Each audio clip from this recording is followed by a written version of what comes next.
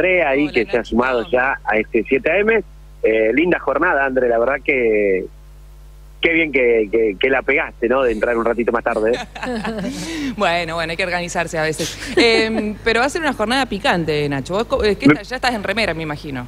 Sí, sí, sí, desde el arranque, desde el arranque. Salí de casa nomás directamente con, con remera, nada de, de abrigos en la jornada de hoy. 20 grados más o menos, eh, la, la temperatura más que agradable, ¿no? Hermoso día. Eh, y, y sin, sin Digo, a, esa hora que arrancamos, ¿no? Sí, a la una y media te vuelvo a preguntar y me parece que me vas a cambiar un poco el. No, totalmente, ya a esta hora cambiamos, a esta hora ya cambiamos. Eh, Nacho, estás en el Hospital Alasia, ¿no? Exactamente, sí, estamos desde el Hospital de Niños, eh, doctor Orlando Alasia, porque aquí eh, anoche ingresó un, un menor por una picadura de, de alacrán, estos casos que se conocen como casos de escorpionismo, el cual está estable, es un chico de, de tres años y que sufrió una picadura en su casa mientras estaba durmiendo, eh, aparentemente ingresó por, por eh, el sector de, de aire acondicionado, donde van las cañerías, el alacrán y cayó en la cama, termina picando este niñito de, tres años, ¿no? bueno, el cual está siendo evaluado en observación de, del Hospital de Niños Doctor Orlando Alasia, donde nos contaba su mamá justamente la, la situación. Esto ocurrió en la zona eh, noreste de, de la ciudad, en inmediaciones de, de Beruti y Alvear, como para tomar referencia, ¿no?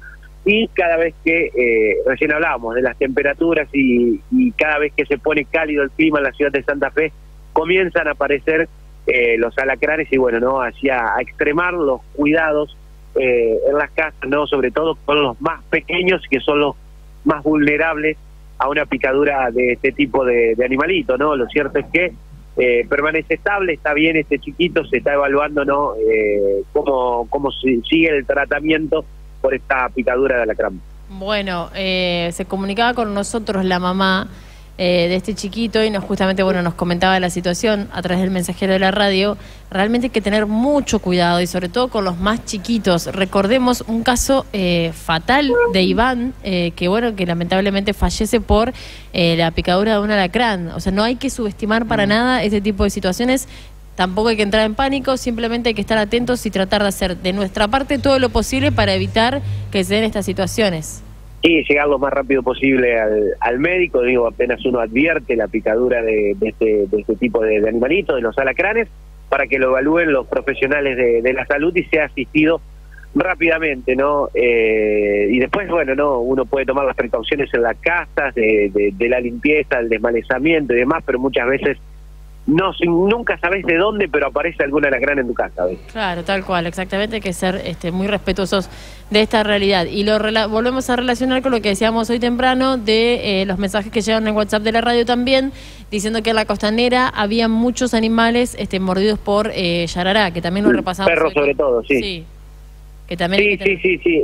A ver, eh, estamos en una zona que tal vez nos desacostumbramos a, a tener el, el río con alguna altura importante, entonces se había alejado mucho el agua de- del sector donde la gente está eh, y allí los, los animales que habitualmente están en esa zona, eh, ahora al ver que creció un poco el río, se acercan nuevamente a los sectores donde la gente estaba utilizando y va, y bueno, no tener los cuidados de- del caso cuando andamos por, por estos sectores. Eh, a ver, es el hábitat natural de estos animales, ¿no? Eh, así que hay que tener mucho cuidado para evitar este tipo de, de accidentes. Bueno, a ver, ya lo explicaban los especialistas, nunca te va a atacar eh, por atacar, te ataca por miedo y porque busca defenderse eh, las serpientes en ese caso, ¿no?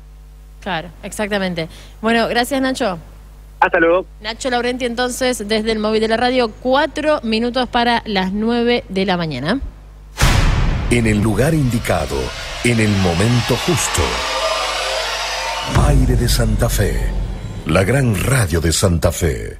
Cuidemos la energía. El uso responsable de los recursos no solo es clave para cuidar el ambiente, sino también para el crecimiento sostenido del país. Entré en argentina.gov.ar y descubrí consejos simples, pero muy importantes para cuidar la energía de todas y todos. Cuidemos nuestros recursos, cuidemos nuestro país. Argentina Presidencia.